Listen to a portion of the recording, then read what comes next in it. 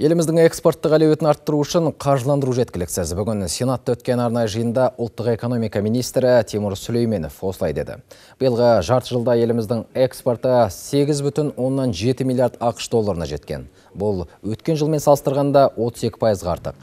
Қазақстан қазір әлемнің 115 еліне 800 тауар түрін тасымалдайды.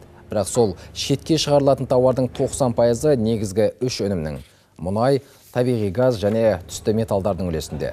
Жағдайды оңалту үшін президенттің тапсырмасымен 2018-2022 жылдарға арналған Қазақстан Республикасының экспорттық стратегиясы әзірленді.